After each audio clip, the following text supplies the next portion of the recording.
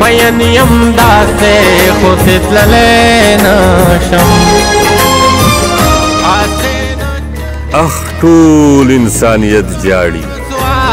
چې داسې یو انسان مري اخ ټول انسانیت جاړي چې داسې یو انسان مري چې سره د جانان په سنگل اخی وی جانان وی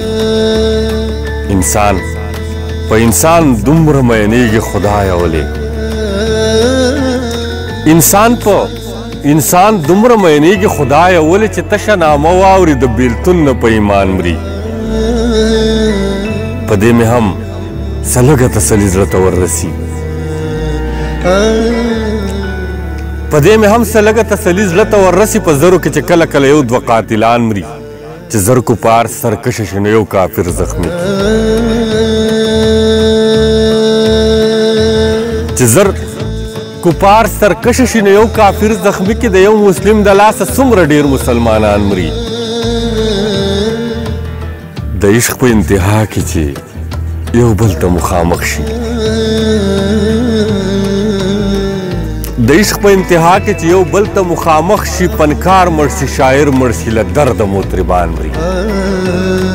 د عشق په انتها کې چې یو بل ته مخامخ شي پنکار مرسي شاعر مرسي له درد مطربان مري یو ښکلي ته کتل مې و ویل مې چې یاره یو خکولی ته قتل می اویل می چې یا رب سبا چې دی هم مري نو دی به هم زما په شان مري سبا چې دی هم مري نو دی به هم زما په شان مري که داسې جهالت په دې پښتون وطن کې نه وي په داسې ارمانونو کې به ولې مینان مري که داسې جهالت په دې پښتون وطن کې نه وي نو په داسې ارمانونو کې به ولې مینان مري زما د کلیوالې ثاني مه ګوره قلار شه زما په کلیواله پسې ښکلې ده جهان مري زما د کلیوالې ثاني مه ګوره قلار شه زما په کلیواله پسې ښکلې د جهان مري دا نوي زمانه او دا لې او ازادي دا نوی زمانه او دا علی او ازادي په دې کې هم منصور ستا د خبرو په ارمان دي دا نوی زمانه او دا علی او ازادي په دې کې هم منصور ستا د خبرو په ارمان مري انسان په انسان دومره مینېږي خدای ولې چې تشه نامه واوري د بېلتون نه په ایمان مري یو ښکلي ته کتل مې و ویل مې چې یا ربا یو ښکلي ته کتل مې او ویل مې چې یا ربا سبا چې دی هم مري نو دی به هم زما په شان مري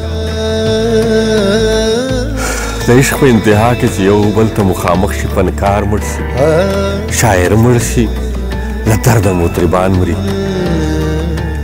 دا نوی زمانہ او دا لې ازادي په دې کې هم منصور ستاره خبرو په ارمان هسې نه چغې کوم یارېږم رسوا به دې کوم ځکه چې زړه تا بکولی